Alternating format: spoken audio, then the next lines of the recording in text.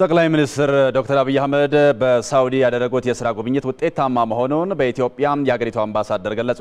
አምባሳደር አብዱላሂ አልጋረ ጊኒ የሀገሪቱ የትብብር ግንኙነትም እየተጠናከረ መሆኑን ተናግረዋል። relation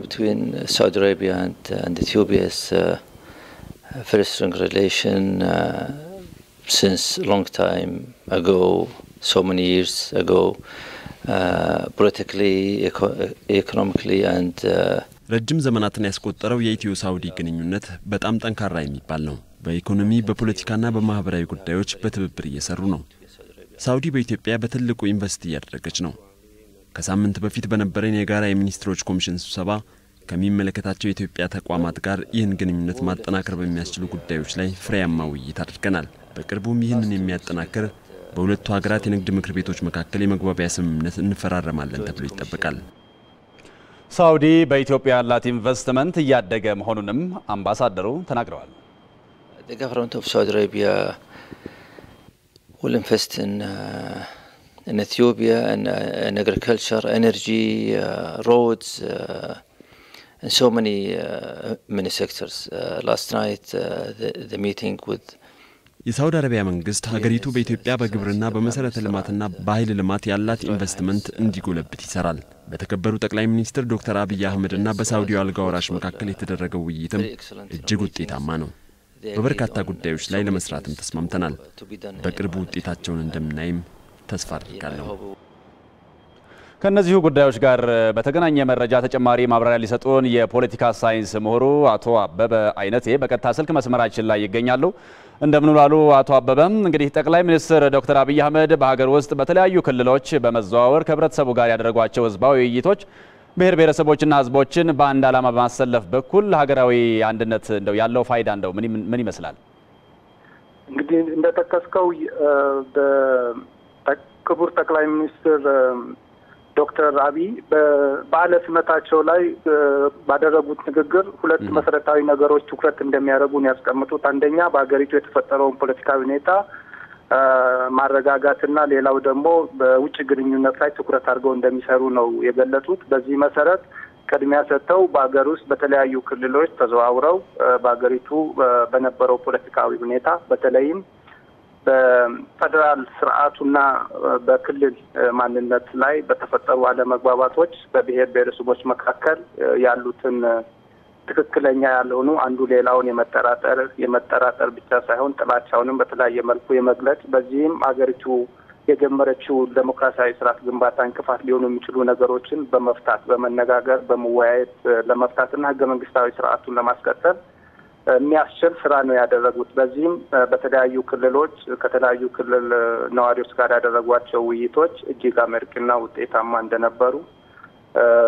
ማየት ይቻላል እና ከዚህ አንጻር ሂደቱ በጣም በበዓለ ሲመታቸው ላይ የገለጹትን ወደ ተግባር መቀየር የጀመሩበት ሂደት እንደሆነ አድርጎ መውሰድ ይቻላል። እንግዲህ አቶ አበበ ጠቅላይ ሚኒስትሩ ከኢትዮጵያ ውጭ ባደረጓቸው የስራ ጉብኝቶችም በተለያዩ ሀገራት በስር ላይ የሚገኙ ኢትዮጵያውያን እንዲፈቱ አድርገዋል። እንዲሁም ሰብአዊ መብታቸውና ክብራቸው ተጠብቆ እንዲኖሩ ትኩረት ሰጥተው በመንቀሳቀስ ላይ ነው የሚገኙትና ይህ ሰብአዊ መብትን ማስከበር ላይ ማዕከል ያደረገ የዲፕሎማሲያዊ እንቅስቃሴ ያለው ፋይዳና ውጤትስ እንዴት ነው የሚታየው? እንግዲህ ሂደቱ እጅግ ውጤታማ ነው። ቀደም ሲል በአገሪቱ በተፈጠረው ፖለቲካዊ ሁኔታ በተለያየ ምክንያቶች ለእስር የተዳረጉ ዜጎች ነበሩ። የመጀመሪያው ስራ ዜጎች እንደ ኢትዮጵያዊ የተለያየ አመለካከት ሊይዙ ይችላሉ። ማንም የመሰለውን አመለካከት በህገ መንግስቱ መሰረት ሰላማዊ በሆነ መልኩ ማራመድ ይችላል። ስለዚህ በፖለቲካ አመለካከታቸው ምክንያት የታሰሩ በተለያየ ነገሮች የታሰሩ ዜጎች ካሉ መፈታትና በነጻነት መንቀሳቀስ አለባቸው በሚለው የፖለቲካ ምህዳሩን ለማስፋት በተገባው ቃል መሰረት ወደዛ እርምጃ ገብተው ዜጎች መብት ለማስጠበቅ ሰብአዊ ክብራቸውንም ጠብቀው በሀገር ውስጥም ከሀገር ውጭም ዜጎቻችን ክብራቸው ተጠብቆ እንዲጠበቅ ለማድረግ የወሰዷቸው እርምጃ መጀመሪያ በሀገር ውስጥ የታሰሩትን በምህረትና በይቅርታ እንዲፈቱ ማድረግ፣ ሌላው ቀጥሎ ደግሞ በጎረቤት ሀገሮች ከዛም በመካከለኛው ምስራቅ የተወሰዱ እርምጃዎች አጠቃላይ ይሄ እዚህ ድምር ውጤት ሲታይ የፖለቲካ ምህዳሩን ከማስፋትና ኢህአዴግ የሚመራው መንግስት ህገ መንግስታዊ ስርዓቱን በተግባር ለመቀየር በሀገሪቱ እውነተኛ ፌዴራላዊ የሆነ ስርዓትን ወደ መሬት ለማውረድ የጅምር ወይም ሂደቱን በበለጠ አጠናክሮ ለማስቀጠል እየተወሰደ ያለ እርምጃ አድርጎ መውሰድ ይቻላል። ይህንንም ጠቅላይ ሚኒስትር ዶክተር አብይ አህመድ ኢትዮጵያና ከጅቡቲና ከኬንያ እንዲሁም ከሌሎች ሀገራት ጋር በመሰረተ ልማት እንዲተሳሰሩ ወሳኝ የሚባሉ ስምምነቶችንም አድርገዋል። ይህ ስምምነት እንግዲህ ቀጠናውን በኢኮኖሚና በመሰረተ ልማት ከማስተሳሰር አንጻርም ምን አይነት ጠቀሜታ ይኖረዋል ተብሎ ነው የሚታሰበው? እንደው እንግዲህ የኢትዮጵያ ከሁሉም ጎረቤት ሀገሮች ከኤርትራ በቀር የተለያዩ በጣም ዘርፈ ብዙ ስምምነቶችና ድርድሮችን አድርገው የመግባቢያ ሰነዶች የፈረሙ የፈረመች ሀገር ነች። በተለይም ከሱዳንና ከካርቱም መንግስትና ከጅቡቲ ጋር ስትራቴጂካዊ በሆኑ ጉዳዮች ላይ የጋራ ደህንነትን የጋራ ሰላምን ከማስጠበቅ ወታደራዊ ስምምነት ድረስ የደረሰ በጋራ ድንበር አካባቢ እስከ መስራት ድረስ የደረሱበት ሂደት አለ። በሌሎች በተለይ በመሰረተ ልማትና በኢኮኖሚ ትስስር ከሁሉም ሀገሮች ጋር ጥሩ የሚባል ግንኙነት አለ። አንዳንድ ስምምነቶች ወደ ተግባር አልተቀየሩ ነበሩ። በዋናነት የጠቅላይ ሚኒስትር አብይ አህመድ አሁን ትኩረት ያደረጉት ከጎረቤት ሀገሮች ጋር የተፈረሙ ስምምነቶች ወደ ተግባር መቀየር አለባቸው ነው። ከዚህ በዚህ ረገድ አንደኛው ከዚህ ከወደብ ልማት ጋር የተያያዘ ነው። መሰረተ ልማት ትስስሩን ለማጠናከር ማለት ነው። በሌላ መልኩ የኢትዮጵያ ከጎረቤት ሀገሮች ጋር ባላት ትስስር ጎረቤት ሀገሮች ሁሉም ጎረቤት ሀገሮች ኢትዮጵያን እንደ ማዕከል ነው የሚያዩዋት። ኢትዮጵያ ሰላም፣ የኢትዮጵያ መረጋጋት፣ የኢትዮጵያ በኢኮኖሚ መበልጸግ ወሳኝ እንደሆነ ያስባሉ። በኢትዮጵያ ውስጥ የሚፈጠረው አለመረጋጋትና ፖለቲካዊ ሁኔታ ያሳስባቸዋል።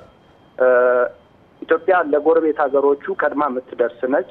ምክንያቱም ኢትዮጵያ አቅሙም ፍላጎቱም ስላላት በኢትዮጵያ ውስጥ የሚፈጠሩ ክፍተቶች፣ ያለመረጋጋቶች በጎረቤት ሀገሮች በኩል ፍላጎት ቢኖርም አቅሙ ስለማይኖራቸው ሁሉ ይሄ ያሳስባቸዋል።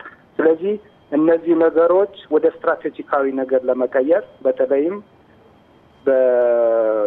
በወደብ ሀገር ተጠቃሚነት ብቻ ሳይሆን በጋራ ማልማት የወደብ ባለቤትነት የመሰረተ ልማቶቹ ባለቤትነት ከዚህ በፊት ስምምነቱ ተፈራርሟል ከሁሉም ሀገሮች ጋር በወደብ አጠቃቀሙ ላይ ግን ይህንን አሁን ወደ ተግባር ሊቀይር የሚችል የበለጠ ሊያሰፋ የሚችል እርምጃ ነው የተወሰደው። በሌላ መልኩ ኢትዮጵያ ወደ ኢንዱስትሪ እየተሸጋገረች ያለች ሀገር ነች። እነዚህን ዋነኛ ትኩረት አድርጋ እየሰራች ያለችው ጎረቤት ሀገሮቹ ዋነኛ የገበያ መዳረሻ አድርጋ ነው የምታስበው። እነዚህ ጎረቤት ሀገሮች ደግሞ በመሰረተ ልማት ብቻ ሳይሆን በተለይም በወደብ አገልግሎት የበለጠ መተሳሰሩ ኢትዮጵያ ለያዘችው ከግብርና ወደ ኢንዱስትሪ የምታሸጋግረውን ሂደትና ሰፊ የገበያ ድርሻ እንዲኖራት ጎረቤት ሀገሮችም በኢትዮጵያ በሚኖረው ኢኮኖሚ እንቅስቃሴ የበለጠ ተጠቃሚ እንዲሆኑ የሚያደርግ ነው። ይሄ እንግዲህ በኤሌክትሪክ፣ በውሃም፣ በሌሎቹ በወደብ ተጠቃሚነት ሁለገብ በሆነ መልኩ ለማስኬድ እየተወሰደ ያለ ነው። ይሄ እንግዲህ ከውጭ ፖሊሲው አንጻርም ሲታይ ለረጅም ጊዜ ኢትዮጵያ ስትመራበት የቆየችው ነው። በእርግጥ አንዳንድ የውጭ ፖሊሲው ላይ መሻሻል መስተካከል የሚገባቸው ነገሮች ቢኖሩም ማለት ነው። ከመካከለኛው ምስራቅ ሀገሮች ጋርም በተመሳሳይ መልኩ ነው። መካከለኛው ምስራቅ ሀገሮች በኢትዮጵያ በከፍተኛ ደረጃ በኢንቨስትመንት እየተሳተፉ ያሉበት ሁኔታ አለ። ኢትዮጵያ የተረጋጋች ኢትዮጵያ እንድትሆን ይፈልጋሉ። ምክንያቱም ኢንቨስት እያደረጉ ስለሆነ። በሌላ መልኩ ኢትዮጵያ ደግሞ ከመካከለኛው ምስራቅ ሀገሮች ጋር የተሳሰረች ነች። የስራ እድል ፈጠረው አለ። በተለይ ኢትዮጵያን ሴቶቻችንና ወጣቶች ስራ ፍለጋ ወደዛ ይሄዳሉ። ይሄም በራሱ ለኢኮኖሚ መተሳሰርና ግንኙነት የበለጠ አስተዋጽኦ ስለሚያደርግ ሁሉን አቀፍ በሆነ መልኩ ለመስራት የተጀመረ ጥረት ነው። በአጠቃላይ ግን የጠቅላይ ሚኒስትሩ በሀገር ውስጥም ሆነ ከጎረቤት ሀገሮች እንዲሁም በመካከለኛው ምስራቅ ያደረጓቸውን እንቅስቃሴዎች ጠቅለል አድርገን ስናያቸው በሰብአዊ መብት ጥበቃ ላይ እና በፖለቲካ መብቶች በፖለቲካ ጥቅሞች ዙሪያ የሚያጠነጥን አድርገን መውሰድ እንችላለን። ከዚያ ባሻገር ወደፊት በኢትዮጵያ ውስጥ ያለው የኢኮኖሚ እንቅስቃሴ የኢኮኖሚ ልማት በሁሉም ሁሉንም በእኩል ደረጃ ተጠቃሚ ሊያደርግ በሚችል መልኩ ለማስኬድ በዋናነት የሀገር ውስጥ ሰላም ወሳኝ እንደሆነና የሀገር ውስጡ ሰላም ደግሞ ከውጭ በሚመጣው ተጽዕኖ ውስጥ እንዳይወድቅ ለማድረግ የተጀመረ ሂደት ነው ብሎ መውሰድ ይቻላል። አቶ አበበ እንግዲህ በተለይ ኢትዮጵያ ከጅቡቲ ጋር በወደብ ከኬንያ ጋር ደግሞ በባቡር ለመተሳሰር የደረሰቻቸው ስምምነቶች በተለይ እንደው ለኢትዮጵያ የሚኖረው ጠቀሜታ ምን ይመስላል? ስምምነቱ ውስጥ ከዚህ አኳያ በምን መንገድ ይታያል? እንግዲህ ይሄ ኢትዮጵያ ከነዚህ ከሁለቱ ሀገሮች ጋር በጣም እጅግ ሰላማዊ በዲፕሎማሲያዊ ቋንቋ cordial የሚባለው relation ላይ ያለች ነች። በታሪኳ ከኬንያ ጋር አንድም ጊዜ ውስጥ የገባችበት ጊዜ የለም። አልፎ አልፎ በድንበር አካባቢ ከሚከሰቱ በተለይ በአርብቶ አደሮች መካከል ከሚከሰቱ ባለፈ ከጅቡቲ ቅድም እንደጠቀስኩት ስትራቴጂካዊ የሚባል ደረጃ ከስትራቴጂካዊ ሲባል እስከ ፖለቲካዊ ውህደት ሊደርስ የሚችል ስምምነት አለ። ያንን ለማጠናከር የሚያስችል ስምምነት ነው የተደረገው። ስምምነት ብቻ ሳይሆን ወደ ተግባር ለመቀየር የሚያስችል ውሳኔ ነው የተወሰደው። ይሄ ኢትዮጵያ አሁን የተያዘችውን የኢኮኖሚ እድገት ወደ ኢንዱስትሪ እየተደረገ ያለውን ሽግግር የበለጠ ያቀላጥፈዋል፣ የበለጠ ያስተሳስራል። የኢኮኖሚ ትስስሩ እንግዲህ በአፍሪካ ህብረት ሀያ ስልሳ ላይም ሆነ በእጋድ የውህደት ፕሮግራም ላይ እንደተጠቀሰው የቀጠናው ሀገሮች በኢኮኖሚ፣ በፖለቲካ፣ በማህበራዊ እየተሳሰሩ ናቸው። የአንዳቸው እጣ ፋንታ ሌላኛው እጣ ፋንታ የሚወሰን ነው። አንዱ ጋር የሚከሰት ችግር ሌላኛውን የሚጎዳ በመሆኑ ማለት ነው።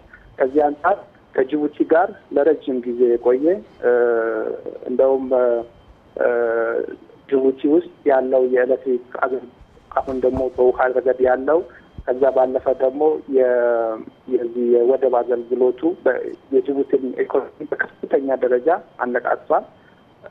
ይሄ በራሱ በኢትዮጵያ ለረጅም ጊዜ ወይም ኢትዮጵያ በምትከተለው ፖሊሲ ውጤትም ነው። ይሄ ውጤት የበለጠ ተጠናክቶ የበለጠ ክፍተቶቹና ጉለቶቹ ተሟልቶ ለመሄድ የሚያስችል እርምጃ ነው። ከኬንያ ጋርም እስካሁን ድረስ በፖለቲካው ረገድ ሰላማዊና ጤናማ የሚባል ግንኙነት ነው። ይሄንን በኢኮኖሚ መደገፍ አለበት። ከው ብቻውን ትርጉም ሊያመጣ አይችልም።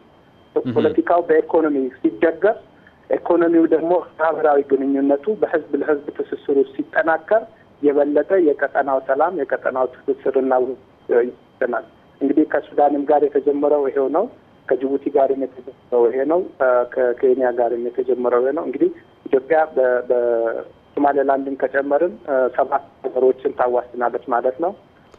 አቶ አበበ አቶ አበበ አይነቴ የፖለቲካ ሳይንስ ምሁር በቀጥታ ስልክ መስመራችን ላይ ገብተው ላደረሱን ሰፋ ያለ መረጃና ማብራሪያ ከልብ እናመሰግናለን። መልካም ቀን እንመኛለን።